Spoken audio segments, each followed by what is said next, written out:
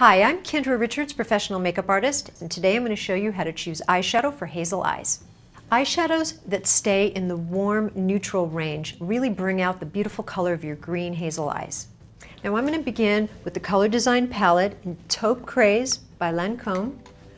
Now I've chosen this particular palette for Jamie because she's got the green hazel eyes and because of the dimension in the color of her eyes. It's not just green, there's flecks of rusts and gold in her eyes. And a neutral color palette really helps bring that out. So I'm going to begin with the light base color over her entire lid.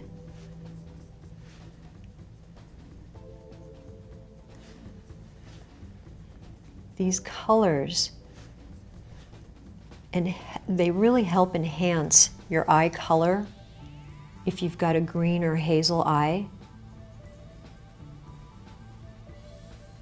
Okay, so that goes down first. Then I'm going to come in here with this medium shade and I'm going to start at the outer edge of her eye and just bring it in into the middle section. I don't want to cover the entire lid. I'm just going to start with the outer edge and I'm going to blend this. And the shimmer also in these colors will help bring out the golden flecks in her eye as well. It adds dimension. Okay.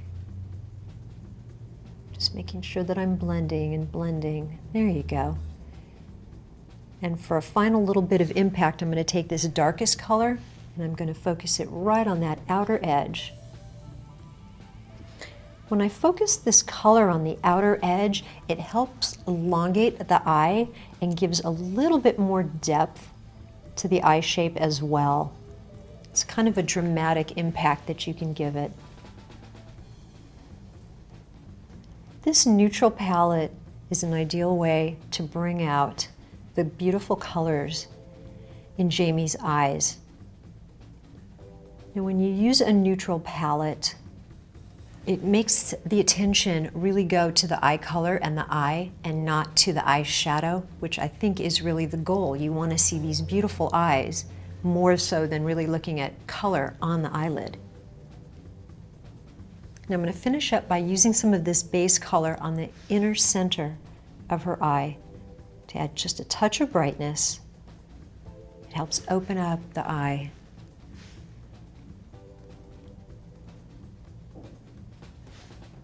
And I'm going to just go up under that brow bone a little bit again for a little lift. So I finished off Jamie's eyeshadow and completed it with a coat of mascara. And in order to really make her green eyes pop, I chose a neutral palette. If you like colors, that's great too, but a neutral palette will get you the most impact of the green eyes. You really see those come through. There you go. That's how to choose eyeshadow color for hazel or green eyes. I'm Kendra Richards. Thanks for watching.